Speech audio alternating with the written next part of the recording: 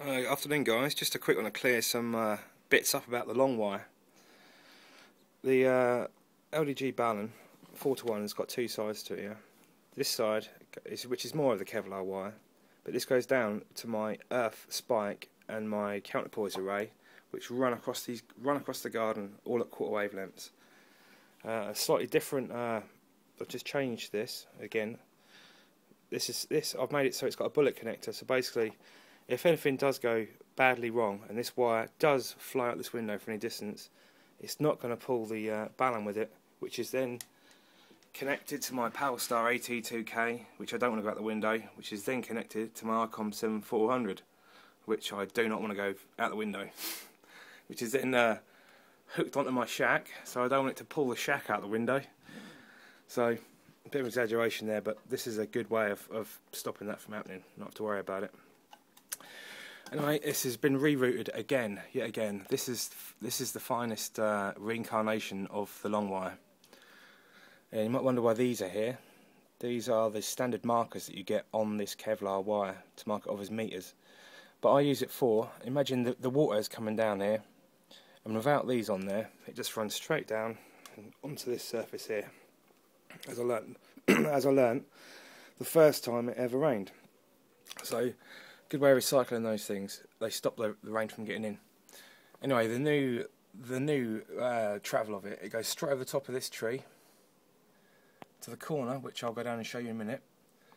And it goes right the way across the top of that tree. I don't know if you can quite see that. Oh, there you go. You can just make it out up to the highest point over there. It's uh, definitely the highest it's been and straightest it's been. The receiver's improved, and from my reports the TX is also improved. So let's go downstairs and show you the, uh, the, main route. As you can see, at the shack window, straight over this big tree.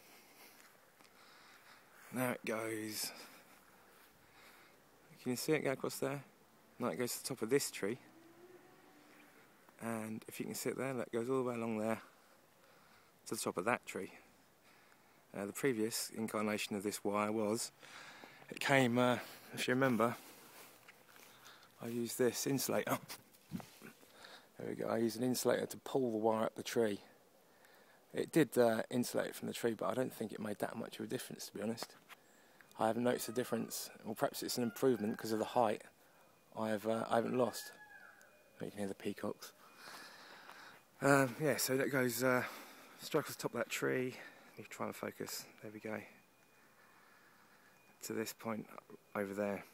It's about 80 metres long, getting on for 85 maybe. It was originally 50 metres long, and I added enough to make it so it would work on AT without an ATU. But I ended up uh, adding just a little bit more to make it easier on, for some reason, 20 and 17. But there we go. That is M0 VST's working uh, conditions at the moment.